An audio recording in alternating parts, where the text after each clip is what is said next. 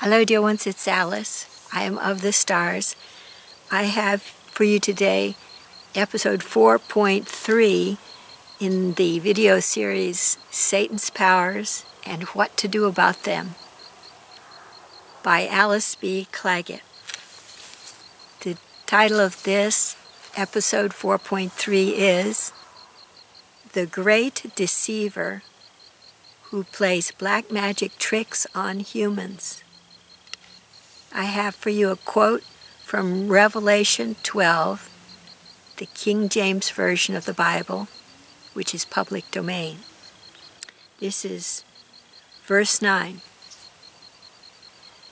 And the great dragon was cast out, that old serpent, called the devil and Satan, which deceiveth the whole world. He was cast out into the earth and his angels were cast out with him. And next I have a quote from Revelation 13, verses 11 to 15. And I beheld another beast coming up out of the earth. And he had two horns like a lamb, and he spake as a dragon, and he exerciseth all the power of the first beast before him, and causeth the earth and them which dwell therein to worship the first beast, whose deadly wound was healed.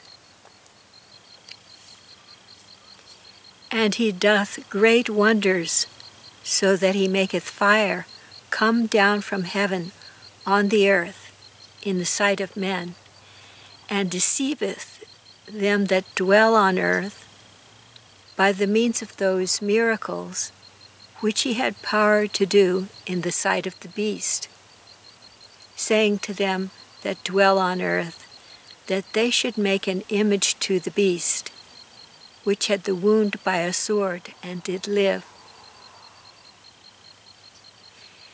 And he had power to give life unto the image of the beast, that the image of the beast should both speak and caused that as many as would not worship the image of the beast should be killed. And here's my commentary. In the context of the above biblical quotes, Satan is said to have frightening psychic powers, including the ability to cause fire to rain down on earth and the power to animate an idol or statue and cause it to speak. It seems to me that psychic powers such as these might be used by human beings for good or for bad.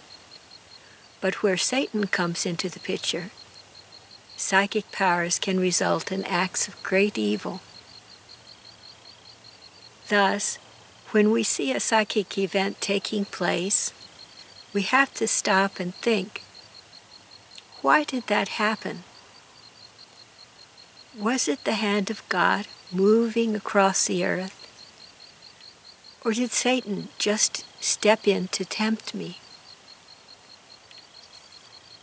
For instance, according to Wikipedia, the Baal Shem, that's B A A L S H E M, of Jewish history was a magician of the practical Kabbalah who was able to speak the names of God, angels, Satan, and other spirits to work miracles.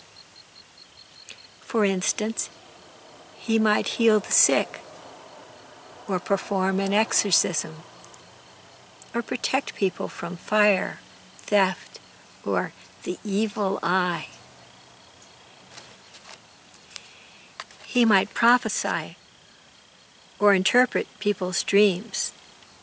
On this I got from a Wikipedia article named Baal Shem.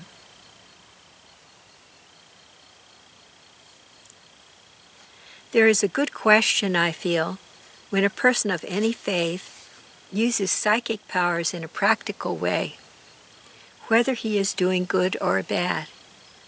whether he is aligned with the will of God or with the will of Satan, who, as the great deceiver, can perform miracles as well. Here is a subsection called Animation of Inanimate Objects Through Magic. In Exodus 7, verses 6 to 12, there is a description of Moses and Aaron in the role of the good magician, dueling with the servants of the Pharaoh, who were in the role of bad magicians, in an attempt to free the Israelites from slavery in Egypt. Here are the biblical verses. And Moses and Aaron did as the Lord commanded them, so did they. And Moses was fourscore years old, and Aaron fourscore and three years old, when they spake unto Pharaoh. And the Lord spake unto Moses and unto Aaron, saying, When Pharaoh shall speak unto you, saying, Shew a miracle for you. Then thou shalt say unto Aaron, Take thy rod, and cast it before Pharaoh, and it shall become a serpent. Then Pharaoh also called the wise men and the sorcerers. Now the magicians of Egypt they also did in like manner with their enchantments. For they cast down every man his rod, and they became serpents. But Aaron's rod swallowed up their rods. To continue with the commentary, thus the quality of animating an inanimate object described in Revelation 13:15 as a power wielded by Satan was one of the tricks that both good and bad magicians in biblical days used to gain power over people and get wealth from them, as the people were frightened when such inexplicable things occurred. From that misuse of psychic power by humans, I feel, it may be that there came about the stipulation not to worship false idols or graven images.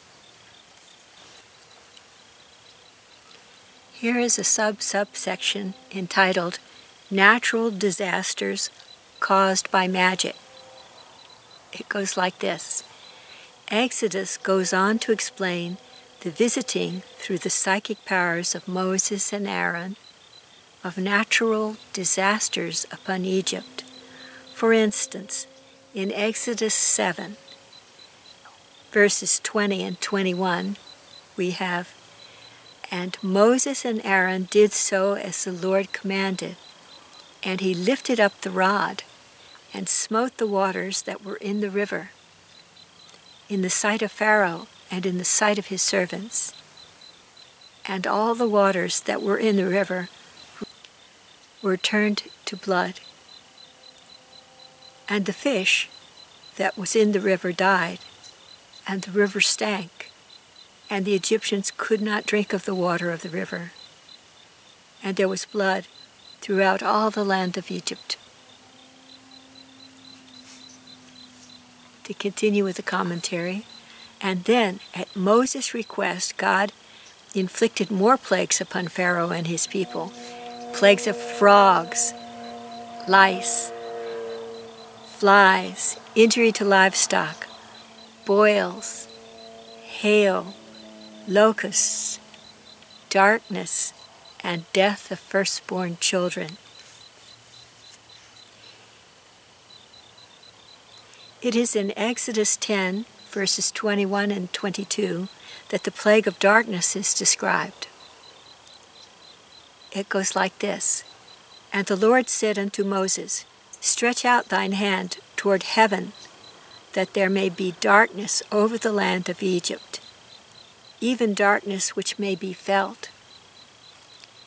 And Moses stretched forth his hand toward heaven, and there was a thick darkness in all the land of Egypt three days.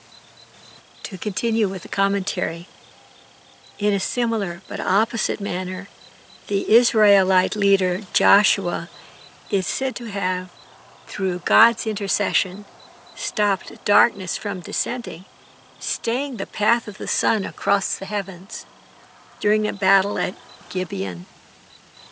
Note also, God Himself is credited with raining down hailstones upon the enemy, perhaps without having been asked to do so. Here is Joshua 10, verses 8 to 14.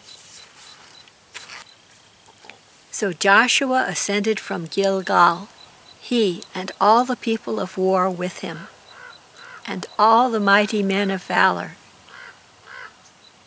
And the Lord said unto Joshua, Fear them not, for I have delivered them into thine hand. There shall not be a man of them stand before thee.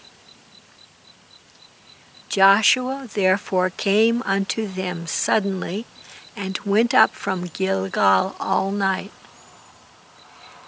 And the Lord discomfited them before Israel, and slew them with a great slaughter at Gibeon, and chased them along the way that goeth up to Beth Horon, and smote them to Azekah and unto Makkedah. And it came to pass, as they fled from before Israel, and were in the going down to Bethoron, that the Lord cast down great stones from heaven upon them unto Azekah, and they died. There were more which died with hailstones than they whom the children of Israel slew with the sword. Then spake Joshua to the Lord in the day when the Lord delivered up the Amorites before the children of Israel. And he said in the sight of Israel, Sun, stand thou still upon Gibeon, and thou, moon, in the valley of Ajalon. And the sun stood still, and the moon stayed, until the people had avenged themselves upon their enemies. Is not this written in the book of Jasher? So the sun stood still in the midst of heaven, and hasted not to go down about a whole day. And there was no day like that before it or after it, that the Lord hearkened unto the voice of a man, for the Lord fought for Israel. To continue with the commentary, these two instances, one of the descent of darkness and another of prevention of its descent, seem to me to be of a depth of scope equal to the feat of making fire come down from heaven, which is attributed to Satan in Revelation 13, verse 13. I feel that these powers of human magicians to cause natural disasters might, as is attributed to be the case with the petitions of Moses and Aaron, be granted through the grace of God. On the other hand, Revelation 13, verse 13, might speak of a ploy of Satan to get human beings to worship him instead of God. When Satan succeeds in this ruse, he may sweep into the mind of a human magician with his insinuations of evil thoughts and evil actions and turn the person to the dreaded path of black magic. That unfortunate possibility is all the more likely when the psychic or magician exercises psychic powers simply for his personal gain, or else on behalf of his own religion, or tribe, or culture, or nation, rather than for the good of all beings everywhere. The path of partiality in the exercise of psychic powers alters the person's soul much for the worse and destines him to the hell worlds after death. That thought puts Moses and Aaron in the limelight with the question Were their actions aligned with the will of God, or were they black magic exercised with partiality to a particular tribe? Well, dear ones, this earth is quite the realm of duality, and the image we see of earth and her beings is but our soul's projection of a hologram or hollow game to help the soul learn a particular soul lesson. So say I, as a light worker here on earth at the time of ascension. What soul lesson was it that Moses and Aaron hoped to learn through exercises of their magical powers? What did the great Judge of all whisper in their ear when their earthly time was done? This none but they can say. Without a doubt, this is a very difficult question how to deal with the gift of psychic powers. How then to find our way safely back home and into the welcoming arms of God. For those of you, my readers, who find yourself saddled with such awesome psychic powers, I suggest laying low and watching the wind blow as my father used to say. Through humility, may we not conquer the dragon of our own pride in our works? What better way may there be to draw near to God than to worship Him as the doer of all and to ask Him to be our hands, our feet, the thoughts that form in our minds, and the words that issue from our mouths. I have for you three images to do with this section. The first is Satan roasting people in hell from the poetical works of John Milton by John Milton, 1695. Um, it's a very traditional image of Satan. That's Satan at the top there. You can see the wings and the horns. And the people that he's roasting in hell beneath him. Um, this, this image to me uh, is symbolic of the fact that by listening to Satan and being deceived by Satan, we can injure our bodies of light and that they may be darkened or speckled in places with darkness, so that after we pass on, those bodies of light will need to be purified in order for us, for us to be um, once again healthy and whole in the afterlife or for those that believe in reincarnation in the many lives thereafter.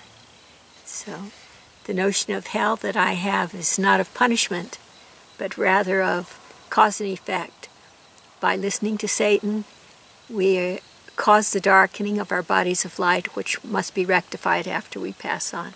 And here's a good image of that.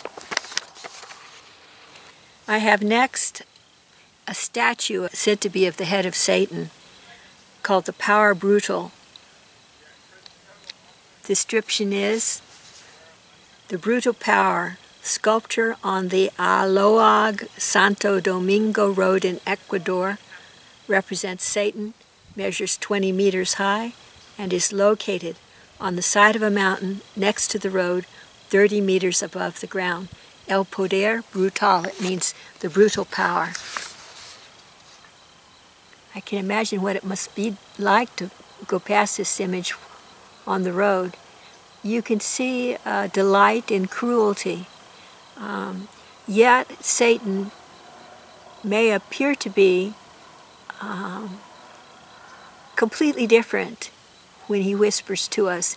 He may appear to be our very best friend, but the actual quality I feel is of Satan is well captured in this massive sculpture. You see how very cruel he looks. He's not really a person. You know, he's more like an animal. So it's important to learn to distinguish um, when we gain the ability to do quote unquote miracles, what our inspiration might be. You might be well deceived in that, or you might be following God's will, I feel, as mentioned priorly. The last image I have for you is a painting called Joshua Commanding the Sun to Stand Still by John Martin, 1848, in Wikimedia Commons. It's very dramatic. It's nicely colorized. And I believe it's the second such image he did of the same miracle of the sun standing still, which we talked about earlier. You can see all the people looking up, the blue sky overhead, and the clouds indicate in a way that something unusual is going on because they're they look a little dynamic, maybe even a little tumultuous. And so that is the art documentation of the miracle spoken of in, in the Bible of the sun standing still at the behest of Joshua and brought about by God Himself, this being an example of, of a really good miracle. That's all for now, dear ones. God bless you all and keep you safe and be with you through all your days.